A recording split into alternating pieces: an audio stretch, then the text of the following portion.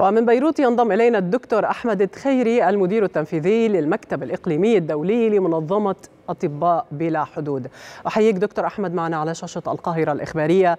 كنا دائما ننوه أن المستشفيات تعتبر معابد للحماية والإنسانية. مع الأسف اليوم مستشفيات غزة فيها عناوين أكثر.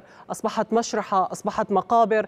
إلى متى هذا المشهد الذي تعدى المأساوية فيما يحدث بمستشفيات غزة دكتور أحمد؟ أهلا وسهلا بك يا فندم. زي ما ذكرتم في تقريركم من الوضع حاليا في مستشفيات غزة هو عبارة عن مأساة. هو عبارة عن وثيقة إعدام تم توقيعها أو تذييلها بقوات الاحتلال الإسرائيلي. سيدتي أن تعرض الآلاف من المواطنين الذين يطلبون الأمان في هذه المراكز الصحية بالإضافة إلى تعرض العاملين في هذه المستشفيات لسيارات الإسعاف للقصف المستمر أو حتى بالتهديد أو بإطلاق النار عن طريق القناصة في داخل المستشفيات أو في خارجها. إنه شيء غير مقبول وغير منطقي حتى أن نراه في هذا الوقت الحالي. هو يتنافى كليا يتعارض كليا بقانون العمل الإنساني. إن المطلب الوحيد الذي يجب توفيره حاليا هو الإطلاق الفوري لإطلاق النار هو الإيقاف الفوري لكل عمليات القصف هو توفير الممر الامن لسيارات الاسعاف لنقل المرضى وإمكانية تسهيل وصول الوقود والإمدادات الطبية لهذه المراكز الصحيه حفاظا على حياة الناس. دكتور أحمد أردف تساؤلي فيما يتعلق ب قيل بأن أعلى عدد مع الأسف من عمال الإغاثة التابعين للأمم المتحدة. كان هذا يعني قد سجل أعلى عدد من سقوط هؤلاء الضحايا بتاريخ الصراع. هل اليوم نتحدث أيضا عن موضوع الكوادر الطبية والأطباء أنهم تعدوا العديد ربما من الأرقام الغير مقبولة كسقوطهم ارتقائهم شهداء. تواصلكم مع أطباء بلا حدود. هل عاد هل تدخرون أي جهدا فيما يتعلق بهذا التواصل مع الكوادر الطبية؟ نعم نحن نبذل كل ما ما بوسعنا لمحاولة التواصل مع زملائنا. لقد تم إخلاؤنا من شمال القطاع في هذه المستشفيات التي ذكرتموها في تقريركم سواء كان في مستشفى العون في مستشفى الاندونيسي مستشفى القدس. رغم ذلك ظل بعض زملائنا في داخل هذه المستشفيات التي حاليا هي ضمن نطاق الحصار تقع تحت طائلة القصف المستمر. وفقدنا الاتصال ببعض منهم. قد تم إبلاغنا عن فقداننا. لبعض زملائنا في منازلهم أو في أماكن عملهم. قد تم إبلاغنا عن فقدان زملائنا يعملون في سيارات الإسعاف وهم يحاولون إنقاذ المرضى. لكننا نعاني من التواصل مع بقية موظفينا الذين هم حاليا بين شمال غزة وجنوبها. في تواجد في شمال غزة لا زال من مجموعة اطباء منظمة نعم أطباء نحن نتواجد. نعم نحن نتواجد الآن داخل مستشفى الشفاء. نعم. نحن نتواجد حاليا داخل مستشفى القدس. نحن نتواجد حاليا داخل مستشفى العون ولكن يصعب يصعب حاليا التواصل مع زملائنا. نعم. نحاول الاتصال معهم في خلال أربع بين 10 ل 15 مرة. نحاول الاتصال بهم نتوفق في مرة. نعم. نحاول أن نتواصل معهم بالرسائل لكن لا لا يوجد تغطية لا يوجد إنترنت. إن الوضع الحالي هو عبارة عن تعتيم عام وعملية مذبحة تجري في الأرض الواقع. طيب دكتور أحمد مع هطول الأمطار اليوم الوضع قد يصل إلى الوضع الكارثي. مع اختلاط الأمطار مع جثث الضحايا أو جثث الشهداء الملقاة على الأرض سواء في أفنية المستشفيات أو في الشوارع قد يحدث أو يحدث هذا الأمر. بعض الأمر كيف تتحركون مع هكذا وضع أو تنسقون مع هكذا وضع؟ سيدي نقوم بمناشدة كل من يكون قادر من المجتمع الدولي جامعة الدول العربية الاتحاد الأوروبي الأمم المتحدة بالضغط على كل الأطراف المتنازعة لفتح الممر الآمن وتوفير هذه الإمدادات. من ضمن هذه الإمدادات هي المياه. من ضمن هذه الإمدادات هي مواد تعين على تنقية المياه. حاليا يوجد عد... لا يوجد توفر للمياه. السليمة يضطر ذلك كل المواطنين أو كل من يريدون التحصل لهذه المياه للبحث عن مصادر غير آمنة. كما ذكرتم هناك العديد من الجثث أو ذكر زملائنا عن العديد من الجثث حاليا تتواجد خارج المستشفى، لا يمكنها حتى الخروج لجلب أو لسحب هذه الجثث.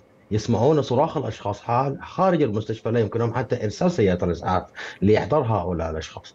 نتيجة لذلك نتوقع وفيات زيادة عدد الوفيات. نتيجة لذلك مع زيادة حالة الأمطار تتواجد حاليا ستزيد عدد عدد حالات الإسهالات.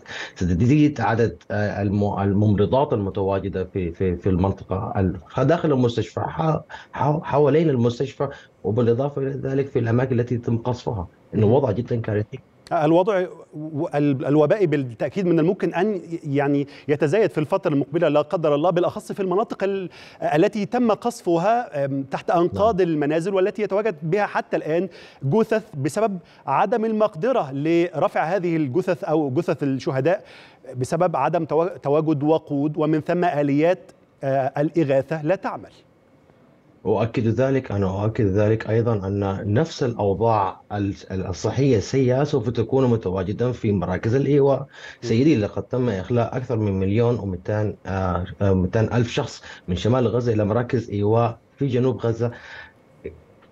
هذه المراكز حاليا ممتلئة بالأشخاص، يوجد عديد من الازدحام، عدم توفر المياه، عدم توفر حتى المراحيض اللازمة لتلبية احتياجات هؤلاء الأشخاص، نحن نتحدث أيضا عن زيادة الممرضات التي سوف يتم تسجيلها في جنوب غزة وحاليا يتم تسجيلها سواء من أمراض الجهاز التنفسي، سواء من أمراض الجهاز المعوي، سواء من أمراض الجلدية، وهو شيء سوف يتدهور يدهور الوضع الحالي بشكل أكثر وأكثر طالما يتم عملية القصف طالما تتم عملية الحصار طالما لم يتم فتح الممر الآمن لنقل المعدات الطبية وإنقاذ المرضى أو إخراجهم خارج القطاع لتوفير علاجات مناسبة. دكتور أحمد دعني أعود مع حضرتك لما يسمى بالمربع الأول إن صح توصيفه في الوضع الإنساني والصحي الجانب الإسرائيلي وأمريكا يفندون تماما أمام العالم آه، بأن هنالك لا يزال هنالك وقود بأنه لا يزال هنالك أغذية وماء وكل ما يتم سوقه هو افتراء وكذب. ويتحدثون أن الإسرائيلي لا يستهدف من يريد أن يخرج من محيط المستشفيات. طب اذا المربع الأول في هذه آه، السردية أو هذه القصة الحقيقية هم يحاولون أن يفرغوها. وهنا سؤالي دكتور أحمد يعني هذا التوصيف أو هذا الوصول الحقيقي لهذه الصورة التي تجري اليوم على أرض الواقع. ناس محاصرون في المستشفيات. لا ليس لديهم من أدوات للبقاء على قيد الحياة ولا يستطيعون النجاة بحياتهم خارج المشافي. كيف يمكن أن يستمر آه، تستمر تركيز هذه الرواية أو هذه القصة الواقعية التي تحدث الآن؟ سيدي كما ذكرت لك أن استمرار الأعمال العدائية إنما هو عبارة عن وثيقة إعدام تم تسجيلها الحكومة الإسرائيلية وبمن يدعمهم حاليا في هذا النزاع المستمر. أنا لست أتحدث عن وضع سياسي ولكن أتحدث عن شيء إنساني إنه نعم. أمر غير مقبول. إن عدم استمرار عن إن استمرار الاستهداف إن استمرار إنكار الوضع الحالي المتواجد في الأرض بشكل من الأشكال let me أخبر let me دعيني أخبرك شيئا. دكتور محمد عبيد زميلي في داخل مستشفى الشفاء يخبرنا بأنه تم, تم قد أجرى 25 عملية. نعم. في مستشفى الشفاء وهو حاليا يعمل على مريض وهناك مريض آخر في في السرير تحت التخدير. زميلي لا يمكنه الخروج من المستشفى. خوفا على حياته من القصف خوفا على حياته من القناصة وخوفا على حياة المرضى المتواجدون حاليا بين يديه.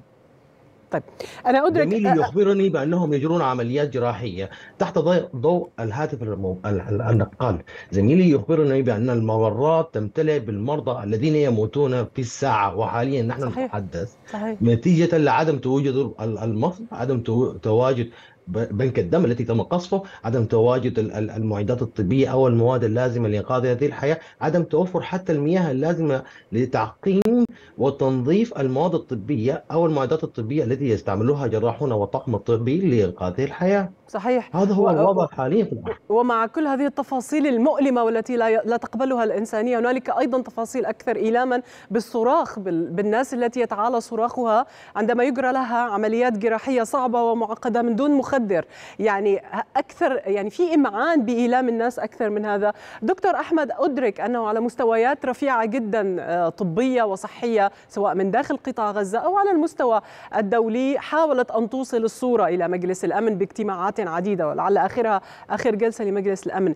طب الطريقة لإرغام الطرف الغربي ونحن نعرف أنه يمعن بأنه يشيح نظره لا يريد أن يرى. هذا من الواضح. إرغام أن يرى ما يحدث في القطاع الإنساني. ألا يمكن أن تحتكمون لأي أمر يرغم الغرب لأن يكون هنالك ضغط أكثر فيما يحدث اليوم بهذا الوضع الإنساني الصعب؟ نحن نستمر بنقل كل ما نراه في أرض الواقع. زملائنا يحملون حتى الآن داخل القطاع ونقوم بنقل صوتهم ونقوم بنقل كل ما يروه وكل ما يت من يتعرض لهذه الأحداث الغير منطقية داخل القطاع. نقوم بنقل كل ذلك ونقوم بدعم المجهودات الطبية المتواجدة حاليا في جنوب القطاع سواء بالتنسيق مع المنظمات الدولية أو بالتنسيق مع المنظمات المحلية كالهلال الأحمر الفلسطيني أو حتى بالتنسيق عبر الحدود مع الهلال الأحمر المصري ومنظمة الصحة الدولية. تم نتيجة لذلك قد تم تسهيل عبور أكثر من 28 طن عبر معبر رفح وحاليا نأمل بأن يحضر آه، آه، وصول آه، بقية المواد الطبية ليتم ليتم نقلها. بالإضافة إلى ذلك لدينا عدد من الطاقم الطبي والجراحين والموظفين المرافقين يتواجدون حاليا في مصر لإمكانية دخولهم إلى غزة لاستكمال أعمالنا ودعم مجهود زملائنا المتواجدون داخلين حال القطاع. نعم.